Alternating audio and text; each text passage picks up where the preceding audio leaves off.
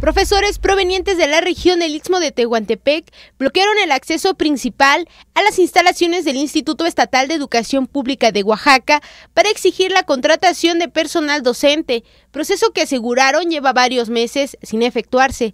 Esta protesta fue un impedimento para las y los ciudadanos que asistieron al YEPO a realizar algunos trámites, ya que se veían en la necesidad de buscar una entrada alterna o solicitar la documentación necesaria a través de los barrotes de la puerta.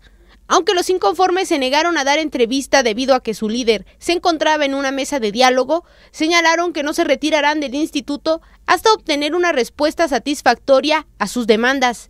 Con imágenes de Citlali Aragón, reportó para MBM Televisión Vicky Ramírez.